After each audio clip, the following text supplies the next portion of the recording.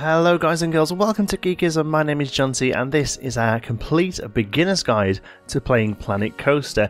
We've already done some tutorials on the channel already about specific parts of the game, such as triggers or buildings, uh, but after an influx of people purchasing the game or having it gifted to them at Christmas, thought it'd be a nice idea to go back to basics and go through some of the uh, simpler issues with the game that maybe some new people are coming and having. So if you're new to the channel, welcome. Uh, don't forget to subscribe. We do loads of Planet Coaster stuff here. And if the video is useful to you, please don't forget to give it a like.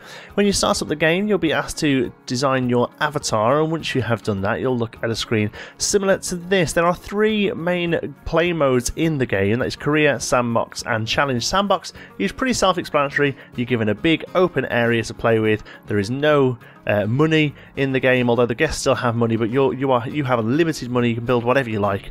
Pretty simple. The other two, career and challenge, are a little bit confusing, and personally, I think the name should probably be the other way around.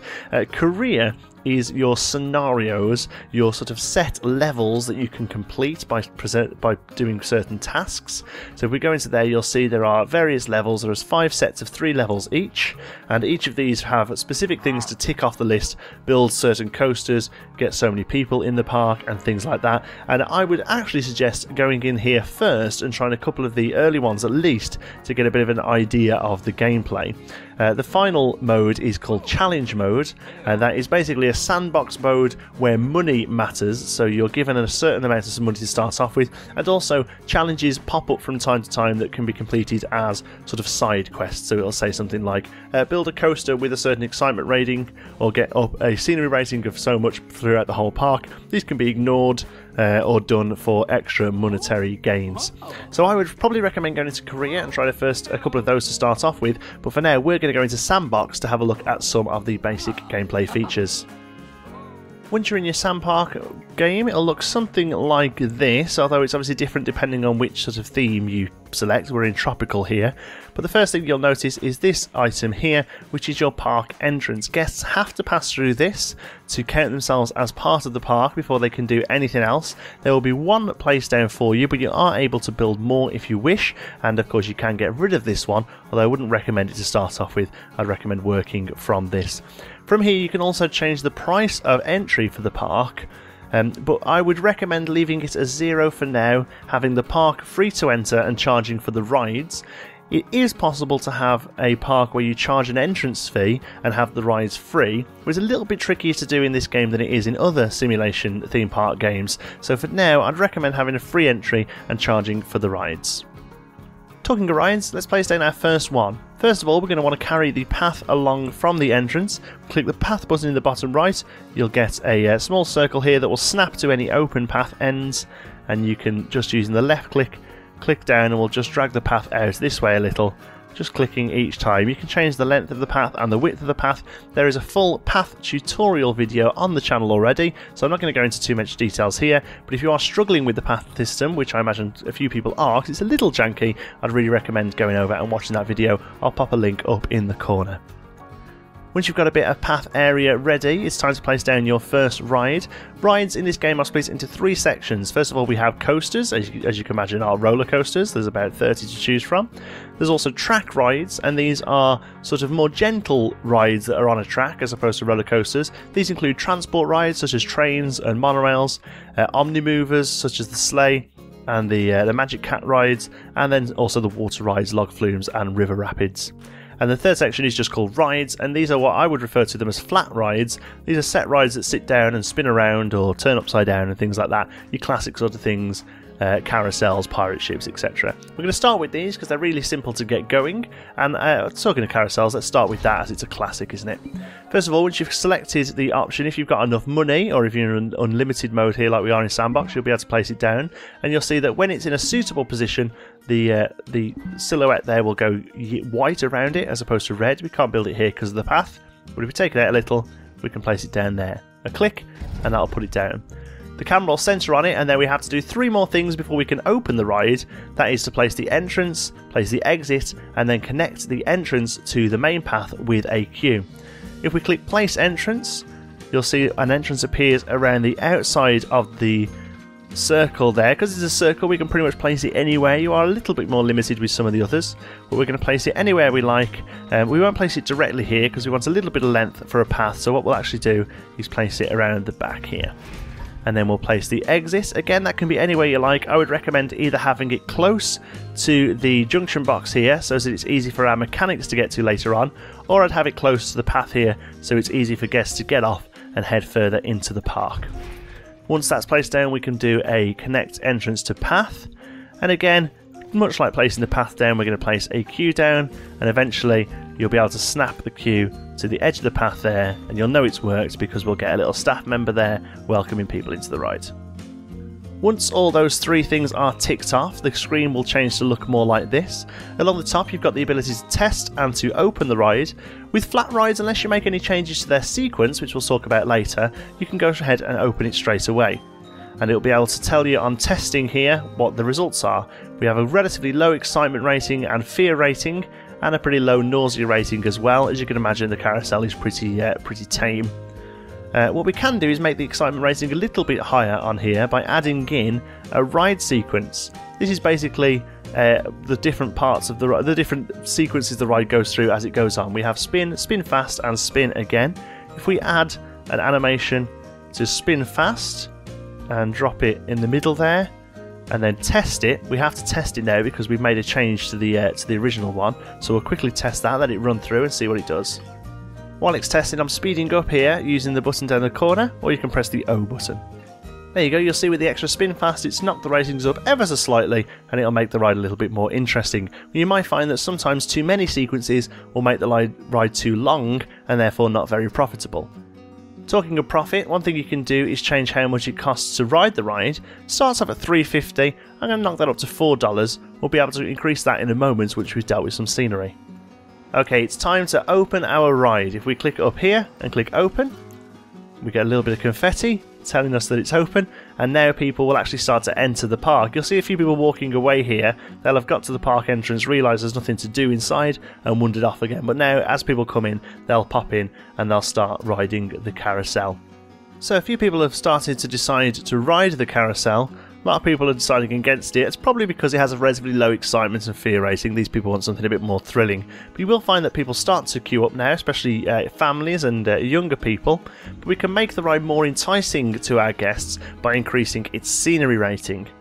The scenery rating of a ride does two things. First of all, it will increase the queue scenery rating if the uh, if the scenery is placed near the queue, and also it'll increase the general ride rating known as prestige here, giving it a higher number.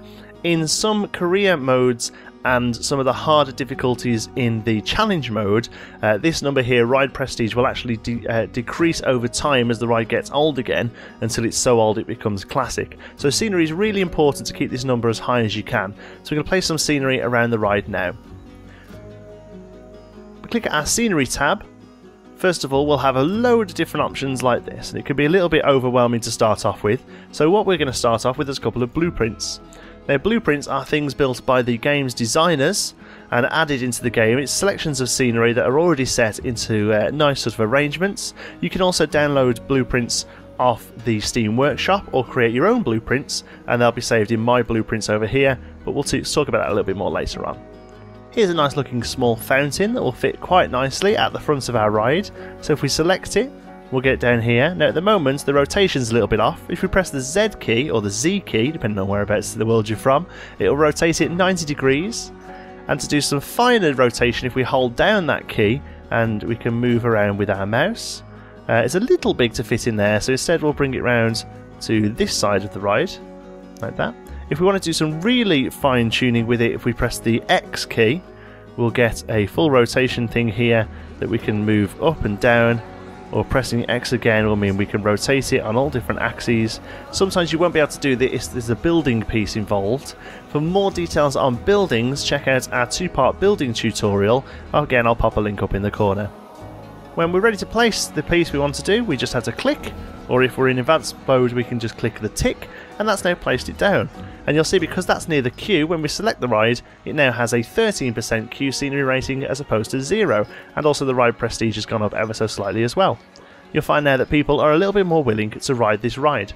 And while scenery won't directly affect uh, excitement rating, uh, apart from some scenery affecting uh, head chopper moments in coasters, but again, that's a little bit advanced for here. Whilst it won't affect excitement rating exactly, uh, it will affect how much people are willing to pay to ride it. And if you click here on the ride details, you'll see that some people eventually, there we go, 36% of people think that the Venetian Carousel is really good value.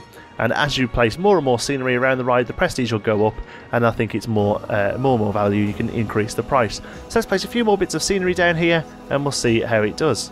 So we're going to place some specific items down now as opposed to using blueprints. We'll place some trees down. If we click on custom within scenery and then nature, we can then select specifically trees.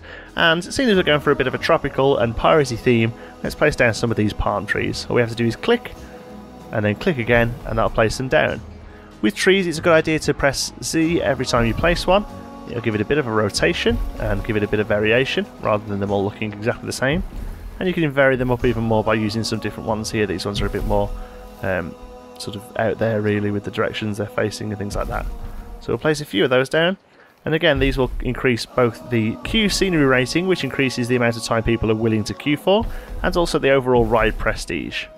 There you go, you can see that the, the uh, queue scenery rating is now up to 45%, and the ride prestige has pretty much stayed the same, but that only changes every time the ride goes through a complete circuit, so you'll notice that number go up a little bit over time. Scenery is weighted, and it's usually the more expensive items of scenery create the biggest amount of uh, change in the queue scenery rating. For the most part, natural things like trees and rocks uh, are relatively low additions, but then things like animatronics, speakers, special effects, and things like that are higher additions. So if you look here, we'll place down an animatronic. If we go to props, there is a section just for animatronics, and let's see if we can find a pirate animatronic that looks pretty cool. Here we go, this guy, little pirate lookout. We'll place him on the way out of the ride, use Z to rotate, and place him down. And hopefully that's close enough to the queue. Uh, it gives it a whole 7% queue scenery rating just from that one uh, animatronic there. Okay, so I spent a little bit of time here doing some more work on the carousel. We've gone for a very piratey theme. We now have the pirates versus the redcoats fighting get out in front of the carousel. You'll see that the queue rating is all the way up to 100 and we uh, have a prestige of 392, almost uh, double what it was originally. And uh, now most people think it's really good value. We could probably be able to knock that up now to about five dollars. Obviously, um, you can't keep increasing scenery forever and charging more. There will be a sort of cap, but for the most part, the uh, the gentle flat rides you can get to sort of five to six dollars and the more extreme flat rides the spinny roundy things you can get up to about eight or nine dollars and uh, and maybe even more if you really put the time in. I mean this is about five minutes work here. Uh, obviously in my own proper game i'll spend maybe 10 15 20 hours on a single ride. Uh, it just shows you though exactly that the amount of time you put in is directly affected uh, by, by what you get out of it. So once the first ride's down the next thing you probably want to do is place a few shops down we're going to very quickly show you how shops work, and that'll be the end of part one. So if we go into shops and facilities, again, there are some custom made ones that come with the game, or if we click up at custom here, we can select just the empty boxes that we should build around. Again, I won't go into building too much here because we have done a separate uh, tutorial on that. So for now, we'll use one of the blueprints and we'll find a sort of Caribbean looking uh, food shop or piratey one. Let's have a look. What's that one? Oh, here we go. Great pirate looking uh, pirate looking chief beef store. So this is, uh, this is really, really well themed. So we're going to just use Z to figure out where we want to place it, or Z, and again if we want to we can press X, but you'll notice that because this one is a building, we can only rotate on a single axis there, because you can't rotate building wall pieces and things like that. So uh, yeah, that looks pretty good there, we'll pop it down, and you'll hear there with Chief Beef it will automatically open up and you'll see a few people will head over straight away. Now, inside Chief Beef, if we give it a click, we'll be able to select our vendor and you'll see that now we have some staff that we have to worry about. Fanny Eaton is our first member of staff we have to worry about uh, because she works in a shop. So any staff members that work inside shops or wander around the park, such as uh, janitors or entertainers, we need to worry about how well they're doing, whether they need to be trained or whether they're being paid enough the two members of staff that come with the ride, the person on the entrance and the person on the uh, the, the box here, um, must be happy working for a pittance because we never hear a problem out of them, which is a bit concerning for me. I would rather the staff that are running roller coasters uh, need to be happier than the people who are looking after burgers. But there you go. uh, so you can see here that uh, she's so happy in her work, and her staff happiness sits here. Staff happiness is affected by two factors. First of all, how much they're paid per month, and how well they are trained. You'll be able to train them after so long. 3rd of May is our first one here. Uh, so we've got a few days to wait. So I'm going to hold that out and show you what happens. 3rd of May has come and gone, so we can now see we're able to train them. All we have to do is click and it'll charge us $150 to train them. So we'll click like so and there they are capable. For the uh, a good rule of thumb is their salary should be around $10 more than whatever it cost to train them last. So here it cost them 150 to train, so we'll give them $160 per month and you'll see now she's super happy, very content with her paycheck, and the job is much easier with training. So there you go, that member of staff is trained up. Uh, but when you've got a few more members of staff, it gets quite difficult to uh, to move. She just said she wasn't happy then, did she? Let's have a look. Chief Beef, staff. Uh, my pay isn't great. Oh my word, you obviously ungrateful. Let's try 170 then. Maybe give them a little bit more. Uh, but for the most part, you should be able to cap staff out at 200 and they should be happy. Uh, okay, so other members of staff, once you've got a few going, it can get tedious to click through them all like that. So we'll have a look in park management. Uh, there's loads of info here. Pretty much everything you could want to find out about your park is found here. But if we click staff, this is where we can hire them. And then we can select here to view them. So at the moment we just have Fanny Eaton who works in the burger store. But now we have shops open. Our guests will start to make litter. So we could do with a janitor. If we click this button here, we'll place him down and then he'll start wandering around and do some work on stuff. Uh, there is uh, a way of selecting where he will walk specifically and what he does, but we'll go into that in a further video. So for now, we'll give him an extra $10 just to get going because uh, we, we want our janitors to be happy. And also, rather than just having him tidy up the rubbish, we'll place down a few bins to help him out. He'll empty the bins as he goes as well. We click into Scenery and select Path Extras. You'll see here there will be some bins you can place down. As we're doing a party theme, we'll select the barrel and we'll place a couple of these down. You can already see there's litter on the floor here as people have uh, thrown it on the floor before they've left. He'll get it, but to help him out, we'll place some bins down as well. So there you go, that should give you a good idea of how to start off your very first park. We've gone over ride placement, shop placement, queues, queue scenery, ride prestige, and the basics of your staffing system. In the next video, we'll cover staff in more detail and we'll go into further detail about Ride Prestige and how you can maximise input and output to get the best out of your park. Thank you very much for watching. I hope you've enjoyed it. If you have, please give us a like. And if you're not already, don't forget to subscribe. Thanks so much for watching, and I'll see you in the next one.